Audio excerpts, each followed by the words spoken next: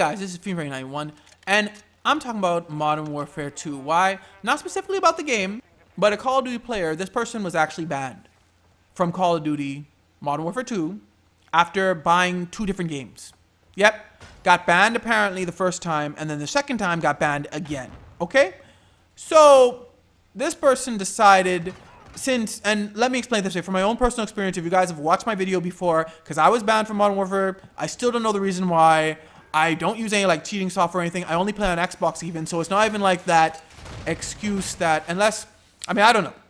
But Activision doesn't really tell you a specific reason why you're banned. They just use like generic talking points.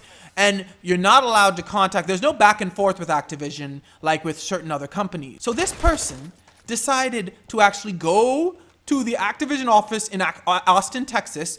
I guess the person lived nearby, I'm not sure. And talk, but they couldn't get in the building. The security guard wouldn't let them in. They asked the security guard to pass off a message, and the security guard agreed to do so. But apparently they're short-staffed. Like, that's weird to me, but apparently they're short-staffed. So basically they're like, they're not going to be able to immediately fix this problem. And then, like, the person was frustrated and stuff like that. But it seems like this person did not get too angry here or something like that. So that's good, right? But here's the thing. Activision Blizzard, their customer service is just bad. Because when you get banned, you're not told a specific reason, and you're making an appeal, and then like you don't even know what happens behind the scenes because then you get a very generic like response if they decide no, you're gonna stay banned. Like you get a very generic response, and I actually do not blame this person for going down there because when you don't even have a customer service like line, you can't even call a customer service representative at Activision.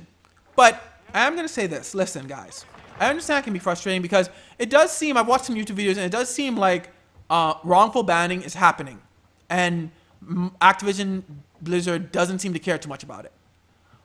But I will say this God willing, Microsoft may take over Modern Warfare 2.